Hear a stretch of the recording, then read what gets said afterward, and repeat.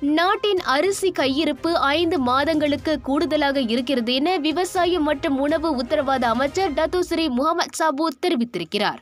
மக்களால் அதிகமாக உட்கொள்ளப்படும் மூலப்பொருளான அரிசி போதுமான அளவில் இருப்பதை உறுதிப்படுத்த குறுகிய மற்றும் நீண்ட கால செயல் திட்டங்களை தனது அமைச்சு அமல்படுத்தி வருவதாக அவர் கூறினார். அவசர நிலை ஏற்பட்டால் இதர உற்பத்தியாளர்களுடன் ஒத்துழைப்பதை தொடர்வதும் இந்த நடவடிக்கையில் அடங்கும். இவ்வாண்டு அக்டோபர் வரை சேமிப்பு உட்பட தற்போது கையிருப்பில் இருக்கும் ஒன்று புள்ளி ஒன்று மில்லியன் மெட்ரிக் டன் அரிசி அடுத்த ஐந்து அல்லது ஆறு மாதங்களுக்கு போதுமானதாக உள்ளது. அரிசி விநியோக தேவைகளை பூர்த்தி செய்வதற்காக தாய்லாந்து வியட்நாம் பாகிஸ்தான் மற்றும் மியன்மார் ஆகிய நாடுகள் அடையாளம் காணப்பட்டுள்ளன. இது தவிர கூடுதலாக தேர்ந்தெடுக்கப்பட்ட பொருட்கள் கிடைப்பது மற்றும் அவை போதுமானதாக இருப்பதையும் உறுதிப்படுத்த பல்வேறு முயற்சிகளை அமைச்சு மேற்கொண்டு வருகிறது என இன்று நாடாளுமன்றத்தில் கிரீக் பிரிகத்தா நேஷனல் நாடாளுமன்ற உறுப்பினர் ஃபத்துல் ஹுசைன் அயூப் எழுப்பிய கேள்விக்கு பதிலளித்த போது முகமது சபூத் தெரிவித்தார்.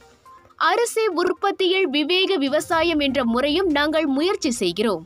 எனினும் அதன் முன்னேற்றம் மெதுவாகவே உள்ளது. நெல் விவசாயிகள் பாரம்பரியமாக தங்கள் நிலங்களில் வேலை செய்வதையே விரும்புகின்றனர் என அவர் கூறினார்.